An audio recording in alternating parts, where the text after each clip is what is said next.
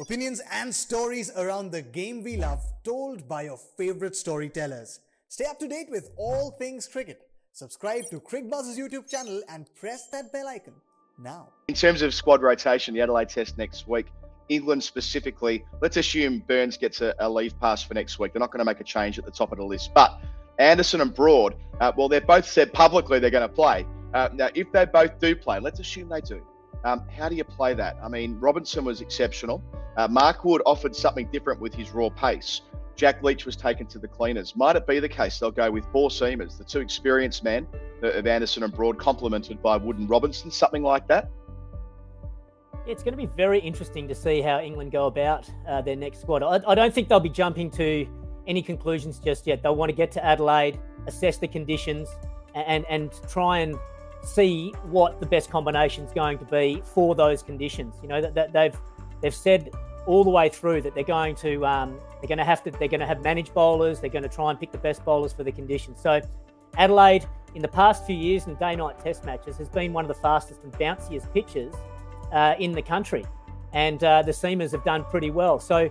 Um, having said that, Nathan Lyon's actually done pretty well in Adelaide as well. So yep. there, will be a lot of discussion over Jack Leach's position in the team, I think. You know, the, the, tactics from the Australians were very, very clear to go hard and hit Jack Leach out of the attack. And I don't know if uh, that, that'll scare England selectors and sort of make them or think about making a change there. I, I think they'll have to consider that because, um, unfortunately, for Jack Leach, he didn't have any impact on this first Test match.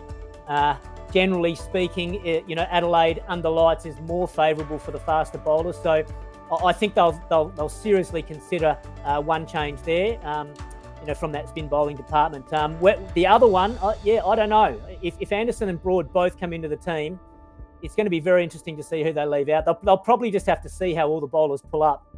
You know, I, I had a quick chat to Mark Wood before play today, and uh, he said all the bowlers are really stiff and sore. They've had to work extremely hard during this test match. It's not easy, hot conditions in Brisbane.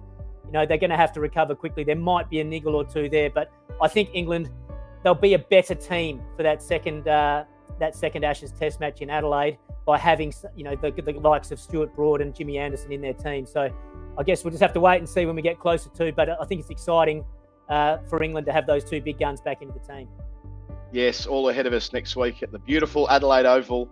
Day night test match, Ashes test match. The Australian squad uh, will be fairly clear. I'm sure they'll be uh, unchanged if they can be. If David Warner forces a change, they've got a ready made opener in Usman Khawaja, but I can't fathom why they would change the, the three quicks at this stage. Maybe they could consider uh, rotating Jhye Richardson or Mark Wanisa. Mark Wanisa took five wickets for Australia A against the Lions yesterday, and Richardson was the formal 12th man this week. But I suspect they'll, uh, to use an expression, dance with the one that brung them uh, and go with the bowlers who've been so dependable for them in recent years.